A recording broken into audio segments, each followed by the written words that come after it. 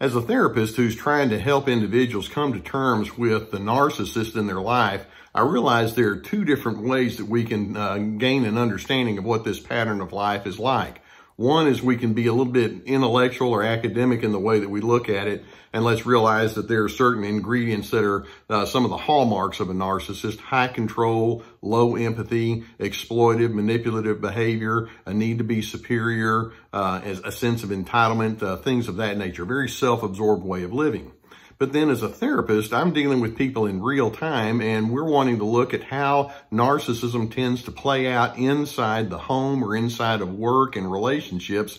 And so I like to look at some of the common behaviors that go along with the uh, the actual definition of narcissism so that you can see that when these behaviors are happening, you know what's going on and you can make uh, adjustments accordingly. Knowledge is power and you need to know what it is that you're dealing with. So today I've come up with what I'm referring to as a real life checklist for identifying narcissism. I want to go beyond just the uh, the technical definition of narcissism and identify for you 20 different uh, ingredients that can uh, show you that you're probably dealing with a person that has a strong narcissistic bent. Now, because it's a long list, what I've done is I've written an article and I've posted it on uh, survivingnarcissism.tv. And so uh, rather than getting uh, lost in all of these 20 things that I'm going to mention to you, go there and you can uh, pick up on that article and we're going to have all 20 of these listed there. And it's got the same title as, as the, uh, the video that we have here. So let's get right to it. 20 real life uh, elements that tell you that you're dealing with a narcissist. Number one, their public self and private self do not match, which is a nice way for me to say narcissists can be phony. Uh, you, they, they may be charming on the outside, but uh, but behind the scenes, you know them to be something very diff uh, different. They can be very difficult and uh, and not at all what uh, they want other people out there to think of them to be. Number two, loyalty is superficial at best, at least their loyalty toward you. In other words, they think of you as someone who's utile. As long as you serve a function for them, they're okay. But once you stop ser serving the function, in other words, you don't give them supply, you're out the door. Number three, narcissists cannot uh, admit mistakes. In fact, they keep repeating the same mistakes over and over.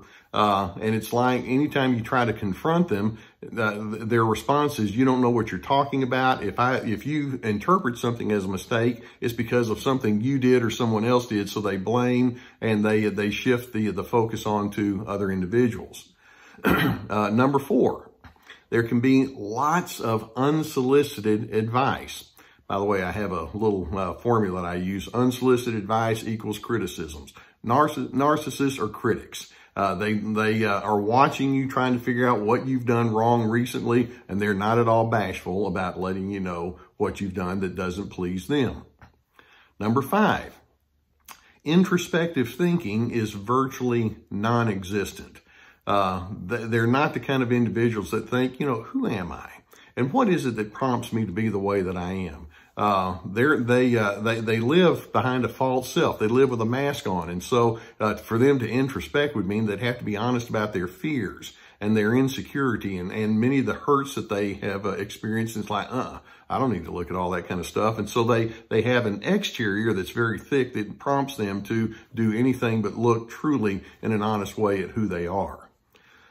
Number six, uh, they can make many comments intended to remind you of your obligations. In other words, they have an agenda and they're not at all bashful about trying to fit you onto that agenda. Uh, they have favorite words like supposed to and have to and must and you'd better, you need to, things like that. Number seven, they have a strong inclination to other people. And by that, I mean they put people in categories and it may be um, the, your race or your gender or your lifestyle preferences or your belief systems or your interests and habits.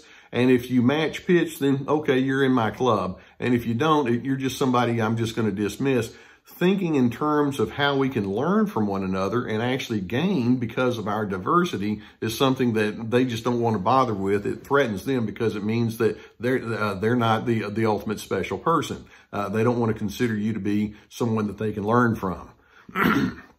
Number eight, They nurse idealized fantasies.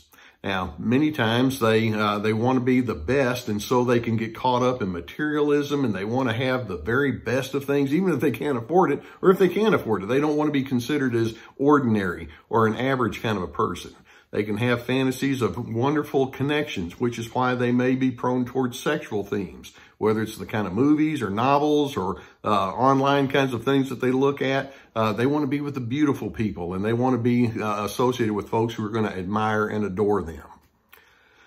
Number nine, they can be attracted to people or themes or activities that exude power uh, and authority. Uh, this explains why many narcissists will try to claw their way to the top of an organization. And they like themes like, you know, smack them down and be the best and be the meanest and be the baddest and just run over people if you have to. Make people understand that you're the, you're the authority. Uh, it's like, oh yeah, that's, that's real appealing to me. That's how you know you're somebody when you can run over people. Number 10, Emotional vulnerability is awkward at best with these individuals. When it comes time for them to, uh, to express tenderness or uh, soft and, and gentle kind of feelings, it's like, uh, that's for that's for people that are emotional weaklings, and I don't want to be that. They have such a tight need to be in control and to uh, to be uh, give the appearance that they're on top of everything. Uh, vulnerability is very difficult for them. Number 11, they're quite willing to lie and leave out essential facts when they're talking with you about things. And they can be secret keepers. Uh, to them, uh, life is a competition. And rather than just having a sense of honesty and openness and trustworthiness, uh, they, they just think, no, I, all I want to do is win over you. And truth is expedience, whatever I need it to be today. Number 12, they often use veiled threats. Have you ever been with a narcissist who said something like, you better think twice about what you're going to do now. Do you understand? Or they may say something like, uh, you better watch your mouth or around me, th those things are not going to be tolerated. And they can have these, uh, these kind of threats and you're thinking, or else what?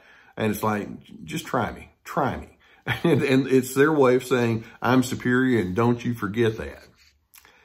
Number 13, they can be extreme in the way that they manage money. Now, sometimes they can be extremely tight and very dictatorial in the way that money is meted out. Other times they can be extremely loose. And usually it's in self-indulgence uh, where it's like, oh, whatever I want, then that's what I get. And I've heard stories of people buying all sorts of lavish things for themselves or being very tight with other individuals about what they can and cannot purchase. Money to them represents power and they want to have power and they want to have self-indulgence. Number 14, if you confront the narcissist, you'll probably be met with irrational anger. Uh, narcissists can just have this how dare you mentality if you have an idea that conflicts with them. And I'm thinking, why is it so threatening that somebody disagrees with you and they just can't take confrontations? Anger is going to come out either through an openly aggressive or a passive aggressive way. Number 15, they are persistently dismissive of other people's feelings. Narcissists have a very strong all or nothing, black or white approach toward life, and emotions tend not to fit into black and white slots. And therefore, since they can't make uh, emotions fit, then it's like, well, then forget it. If you feel something, it's like, well, I wouldn't have felt that. Rather than saying, well, help me understand that. It's like, well, then you just have to be, uh, you're wrong. You're wrong. And so they dismiss you. Number 16, has this ever happened to you? Narcissists like to steal affirmation from other people. Let's suppose that you've been uh, given some sort of a re reward or a very nice compliment, and the narcissist comes along and says, well, you know, I made the whole thing possible. and, and, instead of letting you have the limelight for a few moments, it's like, no, I want the limelight over here on me. And so they can't really stand for others to be regaled. They have to be the one who's, uh, who's seen as being the utmost and the best kind of person. Number, um, number 17, there can be a chronic undertow of frustration and annoyance that they exude. Have you ever felt like when you're around that narcissist, got to be walking on eggshells. Well, am I going to say the wrong thing today? Or you know how they get, or don't bring up this topic, or the last time I was with them, they got in a real bad mood. You never quite know when or if it's going to happen, but at, at some point, the, the frustration is going to show up. And so you, you feel like you're constantly on guard around that person. Number 18, they have many double standards. Uh, to them, there's not a sense of equality. You're different from them. So what uh, matters to you or what re is required of you uh, is not required of them. I can lie, but you can't. Uh, I, I, can be angry and I can scream, but you'd better not do that towards me. Uh, I can be wasteful, but you'd better not be wasteful. Things like that. Number 19, narcissists have a very poor comprehension of love. To them, love equates to conformity. Now, in early times of getting to know you, uh, they can love bomb you and they can try to create an idealized uh, sense where you'll admire them, but that's not really love. Love in the enduring sense uh, involves things like patience and tolerance and acceptance, uh, and those are ingredients that narcissists are in short supply of.